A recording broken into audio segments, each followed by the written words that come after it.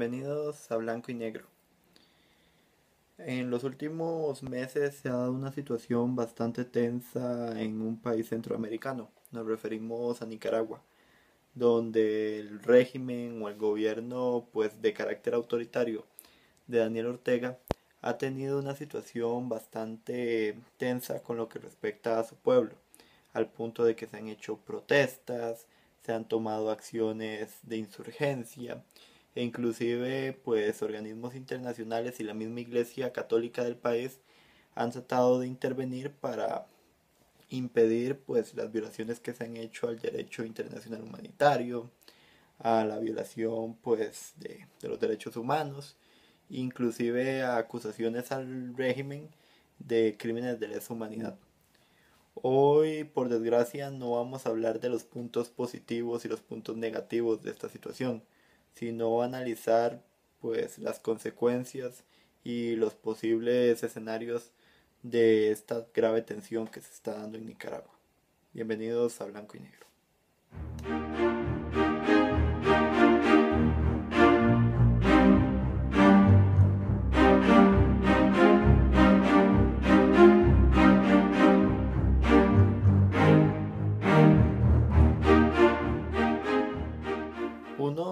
Puntos que hay que destacar es la formación de los grupos paramilitares.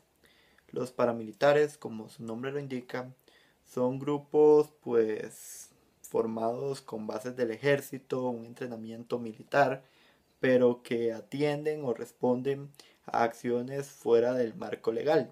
De hecho, son grupos pues que favorecen los ideales del gobierno para combatir generalmente a grupos guerrilleros lo cual es hasta incongruente si uno analiza pues la ideología política de Daniel Ortega. Se supone que el mandatario defiende al Frente Sandinista de Liberación Nacional, una antigua guerrilla que combatió contra la dictadura de la familia Somoza.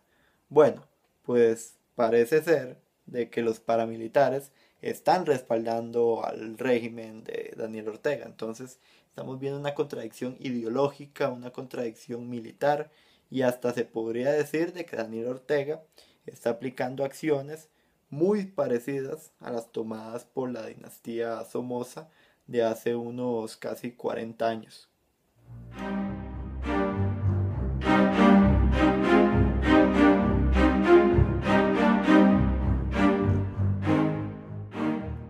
Otro de los puntos a destacar son los grupos defensores pues, del gobierno de Daniel Ortega y de la vicepresidenta Rosario Murillo. Nos referimos a los grupos conocidos como las turbas. Las turbas sandinistas son pues un puñado, un conjunto, mejor dicho, de personas que se unen para atacar, boicotear o lastimar a las personas pues que se oponen a las acciones que toma el presidente Daniel Ortega o bien a sus decisiones como régimen. Hay que destacar de que las turbas pues tienden a unirse para hacer ataques, eh, para tomar acciones, pues se podría decir, de acusar o de informar, tener como sus redes, sus, sus líneas y presentar pues una posición favorable al régimen de Daniel Ortega generalmente son defensoras pues de la bandera sandinista, de la bandera del Frente Sandinista de Liberación Nacional, la famosa bandera roja o en algunos casos fucsia o, eh, y negro. Entonces, eh, estos movimientos pues son defensores del ideal de que Ortega persista en el poder.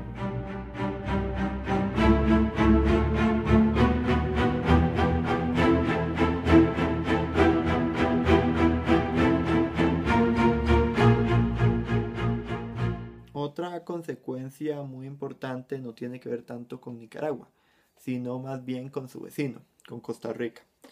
Costa Rica se ha dado una inmigración masiva de nicaragüenses, esto debido a la tensa situación que se está dando en el país vecino.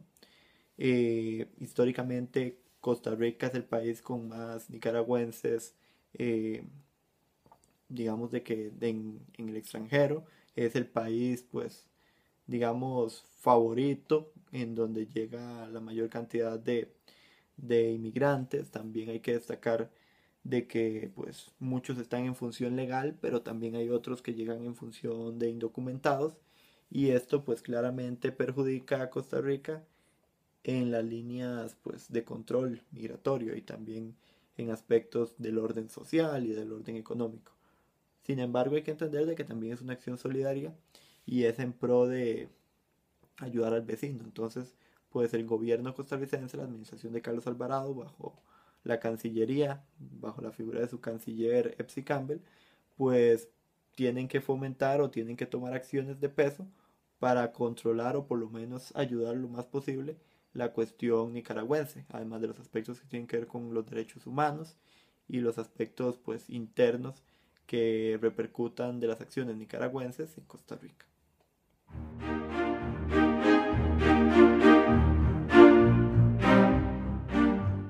Otra consecuencia importante de las acciones que se han dado en Nicaragua tiene que ver con el comercio.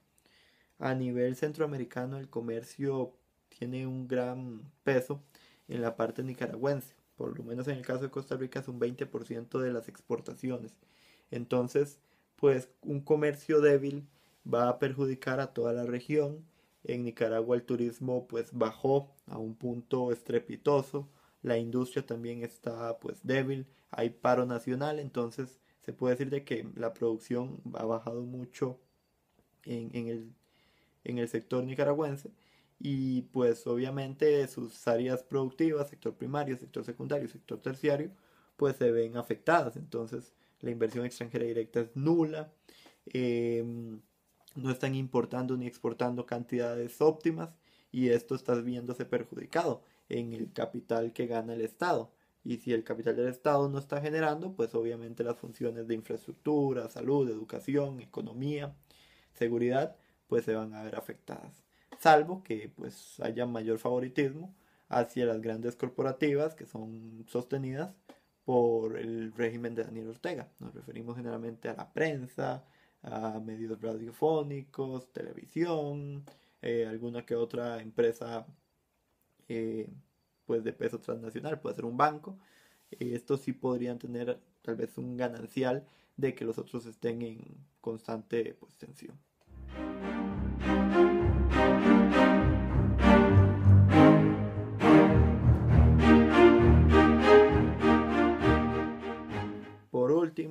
Quizás es el motivo principal para analizar como un internacionalista y como consecuencia pues analizar el papel que tendría Nicaragua después de esta situación.